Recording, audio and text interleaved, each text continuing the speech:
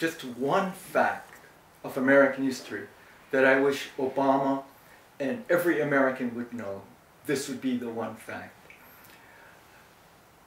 Our nation experienced its most serious crisis during the Civil War. Our, our nation almost disintegrated, almost came to an end.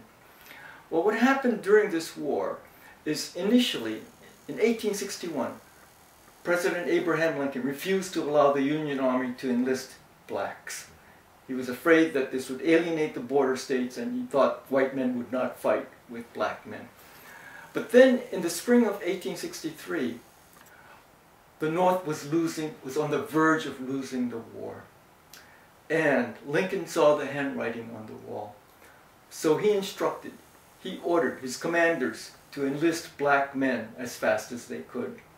And within months, General Lorenzo Thomas, who was fighting in the Mississippi Valley, had 20 regiments of black men in blue.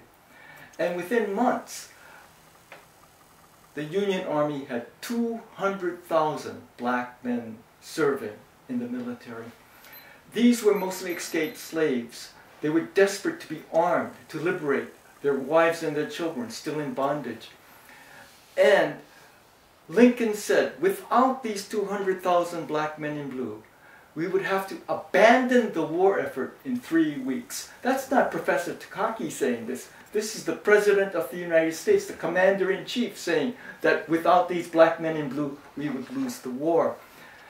And so, he was saying, in effect, that these 200,000 black men in blue made the decisive difference in determining that our nation, for the people, by the people, and of the people, did not perish from the earth.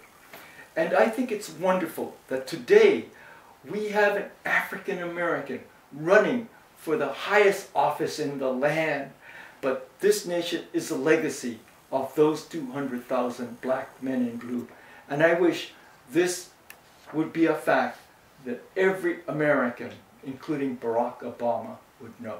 A fact of American history that we live in this nation and we are blessed because these men sacrificed their limbs and their lives to preserve this union.